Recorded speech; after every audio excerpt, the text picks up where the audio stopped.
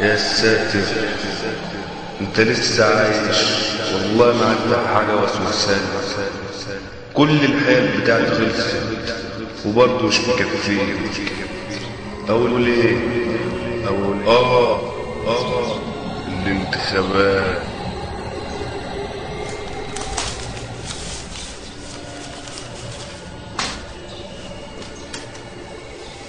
الانتخابات يا ريس.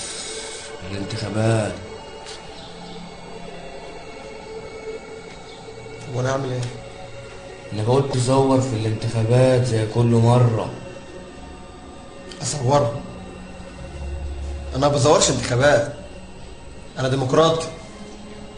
اما انت اشتغل نص كم صحيح أنا غلطان اللي أنا بوجهك. شوف يا شطار. إيه؟ إحنا عشان نظهر الانتخابات نزيهة ما فيهاش تزوير. نخلي كل واحد من الشعب ينتخب اللي هو عايزه. بس كده خطر يا سعيد. ليه؟ لأن كده هتسقط هتسقط. لأن مفيش حد في الشعب بيحبك.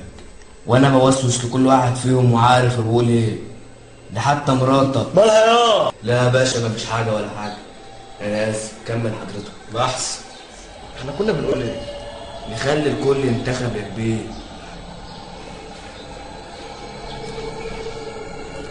آه. وبعد ما ينتخبوا اللي هم عايزينه مش هنفتح ورق زي ناس ولا هنبدل صناديق زي ناس. أمال هتعمل إيه يا اخويا تعمل إيه في فخامتك إحنا هناخد الورقة بتاع الناخب ونرفعها لفوق. لو وقعت على وشها أو ظهرها تبقى بتاعتي. ولا الورقة وقعت على سيفها تبقى بتاعت المعارضة. يبقى أنا كده ظلمتهم. يا ابن ال... ده أنا عمري ما جت في دماغي الفكرة دي. يبقى أنا كده ظلمتهم؟ لا يا كبير ده أنت قمة العدل.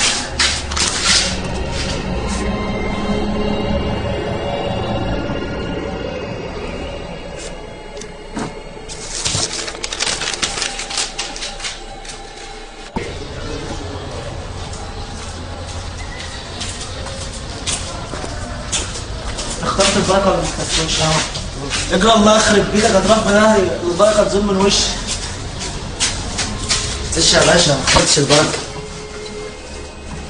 إحنا صلحناها لك ما تعملش كده تاني. فاهمني بركة. طب هتعمل إيه في المعارضة؟ حبيبي انت صعبان عليا. انت ما عادش ليك في الشيطانة خالص. تضرب تشوف لك وردية تطريز أحسن. أنا تلميذك يا ريس ومنكم نستفيد أمال يا ابني إحنا عاملين ليه الكورة والمشاكل اللي بين الأندية والمشجعين وال PlayStation وال FIFA؟ عاملين إحنا كل ده ليه؟ وهي دي مقصودة كمان. مش هاد منها يا. مش يا. معلش يا ريس بس كده يعني خليك في حالك أحسن. حاضر يا ريس.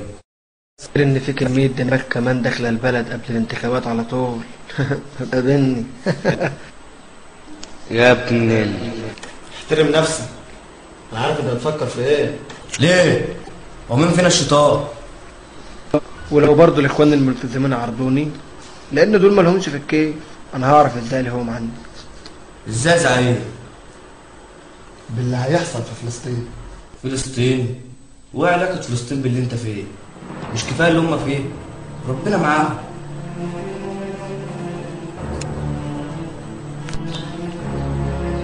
ما هو عشان نلخم الإخوان الملتزمين لازم حبايب اللي بره يوقعوا له مكان بيت عشان نعمل شوشرة.